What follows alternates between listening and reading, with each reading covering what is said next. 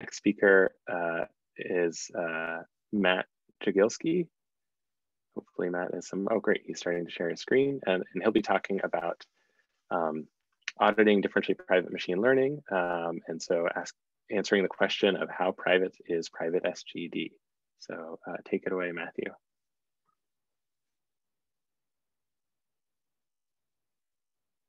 I, I can't hear you. I don't know if you're saying anything yet. Ah, all right. Sorry, I was muted. Um, yeah, thank, thanks for the intro. Um, I'm, I'm Matthew, uh, and this is How Private is Private SGD. It's joint work with Jonathan Ullman and Alina Oprea, all of us at Northeastern University. Uh, the, the focus of this talk is DPSGD, which is um, basically the modification of standards stochastic gradient descent to make it differentially private. So your goal here is to minimize some loss function on your data set. And the modifications that uh, DPSGD makes to make it differentially private is when you sample each batch, you compute each gradient for each, uh, each sample, you clip each of these gradients, and then you add noise. And then DPSGD, just like standard SGD, runs many iterations. What's nice um, about DPSGD is it kind of gives you like this little window in how you go about proving a, a, differential privacy, like an algorithm satisfies it. So you start with you know one, one query to your data set, you bound the sensitivity of that query, you add noise to it, and then you run composition if you're running many queries to the data set. And for specific mechanisms, sometimes you'll get um, other types of, of nice privacy things um, to improve. So like amplification by subsampling or amplification by iteration are examples. Um, but basically this is, this is a huge box of tricks and it's the, the product of, of years and years of research to improve these, um, the analysis. And so what we're at today, um, because, because it's been this long line of research, we don't know, you know when it's gonna end. So the guarantees we have right now from the analysis might be loose. And what's tough about that is in practice, um, that's, that's a little bit difficult, right? Um, because you don't actually know exactly how private the algorithm you're running is. Um, and what I mean by that is the analysis, if, if you think the analysis could improve tomorrow by you know, a factor of five, um, then you don't, you don't really know what epsilon you should set today. Um, and so one thing we can do is we can run attacks to get lower bounds on this epsilon. So uh, basically you can think of attacks as, uh, as providing lower bounds on the epsilon and analysis as providing upper bounds. And then sort of the, the gap here between the best attack and the best analysis is where the like true privacy leakage of the model, the algorithm is going to be. Um, and the size of this gap, the bigger this gap is, the more ambiguous it is for someone who's deploying a differentially private algorithm in practice. Um, because they don't know whether a new attack is going to come along tomorrow with significant privacy leakage or whether new analysis is going to come along tomorrow um, saying that the algorithm they're running is already way more private than they thought. Um, and so the, the goal of our work is to decrease the size of this gap. And we're going to do this by providing a stronger attack than, than what exists. So today, basically, I'm going to go through the existing attack um, called membership inference, our auditing algorithm that we use to provide these lower bounds, and then how we instantiate our auditing with what's called poisoning attacks. And then I'll do a little bit of discussion of evaluation. So membership inference is a you know, fairly standard uh, attack on machine learning.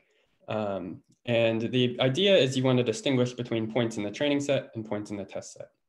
And so the, there's a couple of ways that people have done this. Um, but the, the, the simplest way is you take a threshold on the loss of some sample.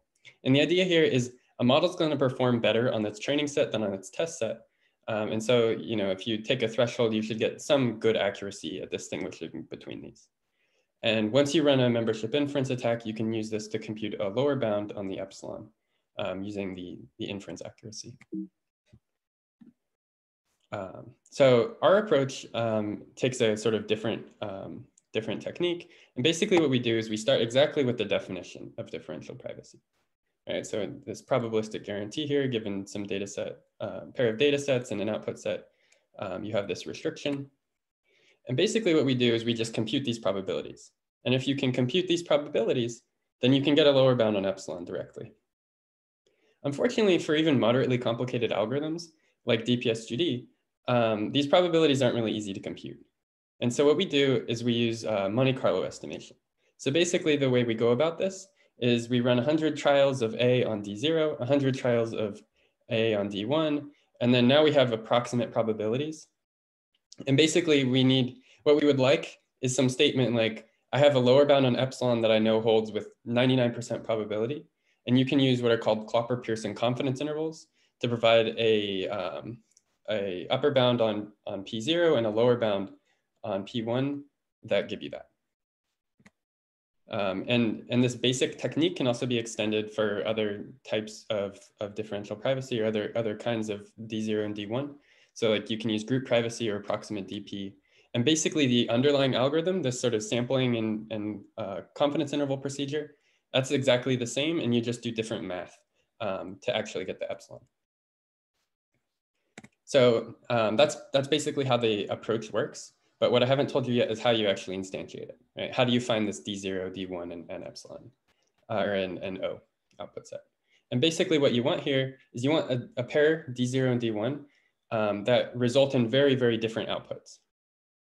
Um, for a machine learning algorithm, you want two data sets that are close to each other that provide very different models when you run training. And uh, fortunately, there's this area of adversarial machine learning called poisoning attacks um, that does exactly this. So the goal of a poisoning attack is to add a small amount of data to your data set that will modify the model significantly according to some objective you've defined. And so if you have a good poisoning attack, um, basically you can set D1 to be your unpoisoned data set, D0 to be your poisoned data set, um, and then you set the output set to be uh, some threshold on the success of the poisoning attack. Um, and then you can run this. And so the sort of the basic attack that we use to start with um, is a backdoor attack. So kind of what you do here um, in a backdoor attack is, uh, let's, let's say we're working with MNIST. You take a couple ones, you flip their labels to be zero, and then you color in a top left pixel. Uh, and basically what the model is going to end up learning is that this top left pixel is really correlated with the class zero because these points look a lot like ones. And the only thing distinguishing from them from that is this top left pixel. And so basically what you do uh, once you train this model on this data set is you can measure the intensity of this association. Um, how, how strongly it associates this top left pixel with the zero class. And you can use that to, um, to measure the success of the attack. And we actually find that, um, that this approach doesn't work super well on DPSGD. It, it, it does something pretty nice, but um, we, we show also how to improve it using a, a new technique that I can't get into here. As I, I want to talk a bit about evaluation now. So we evaluated on three standard uh, data sets, Fashion MNIST, CIFAR10, and Purchase 100. And we used two models each, logistic regression and a one-layer neural network. And to be clear, CIFAR10 um, is a the kind of standard um, private training uses a pre-trained model. So logistic regression and one-layer neural network on here are on top of that pre-trained model. So um, to, to go through the performance of the attack, this is, this is just one example. So this is on Fashion MNIST with a one-layer neural network. So the um, you, there's a couple upper bounds, but the, the main one I want you to focus on here is this blue slanted one, which is the analysis upper bound, the, it's the theoretical upper bound. Um, and then this bottom line here is the standard attack, uh, which is membership inference. And then these middle two are um, the standard poisoning attack plus our auditing algorithm, and then our improved poisoning attack um, plus auditing. And what you can see here is that in some of these situations, uh, for some of these uh, parameters, you get a, a, factor of less than 10 from the, uh, the theoretical upper bound and the attack lower bound. All right, so, so this gap here that's the result of all this improved analysis is now less than 10. And we do this by improving upon membership inference attacks by a factor of over 10. Another interesting thing that we found is our attacks are actually dependent on some parameters of DPSGD that aren't used in its analysis. So when you start a DPSGD run, um, you, you start at some random initialization. Um, and you sample that by using Gaussian noise with some variance. Um, and so if you look at the top table here, um, init rand equals one is, you know, the, whatever variance you would use. Init rand equals two is you double that variance. Uh, half is have that variance and fixed init means we just take one point and, and always train from that. And what you can see is that as you increase the noise um, of the initialization randomness, the performance of our attack goes down. And what's kind of interesting about this is you can you can kind of see why this might actually provide a little bit of privacy, right? It's like if you took only one step of SG, DPSGD ever, uh, and you had a really large variance for the initialization, it'd be kind of like uh, like you're running a big Gaussian mechanism, um, and you're you're only moving very slightly into it. So I know that's not exactly how how the Gaussian mechanism works, but um, it's it's maybe some intuition for why why having this initialization randomness might provide more privacy. And what's cool about this is maybe, uh, maybe this initialization randomness could be used um, to improve the, uh, the success or the, the analysis of the privacy uh, proof.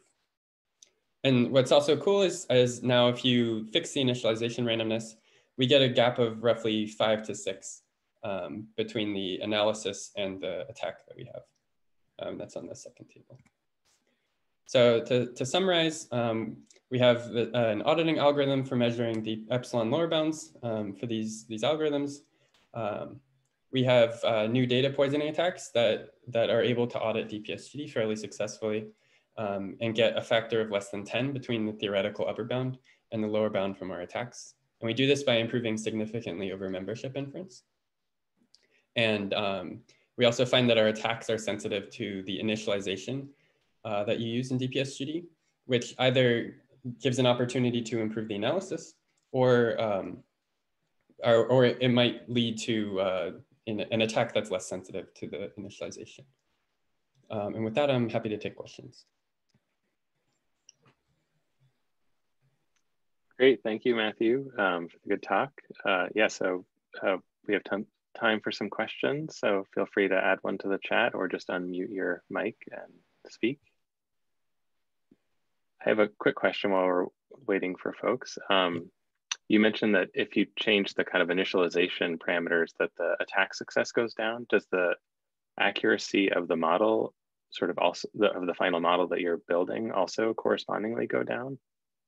Uh, not really. So on the fashion MNIST dataset, all the experiments we ran, um, the accuracy is like 98%. And to be clear that it's, um, we're distinguishing between like class zero and class one on Fashion MNIST. I'm not sure exactly what, what close those are, um, but that's why the accuracy is like 98%. Okay.